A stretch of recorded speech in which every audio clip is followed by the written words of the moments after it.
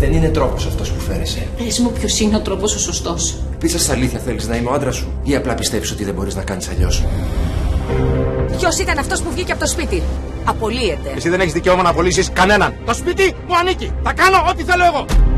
Πείτε μου τι έχει συμβεί. Ο Ντίνο. Δεν υπάρχει κανένας λόγος να δημιουργούμε εχθρικό κλίμα μεταξύ μας. Αν καθίσετε και σκεφτείτε, θα καταλάβετε ότι υπάρχει λόγος.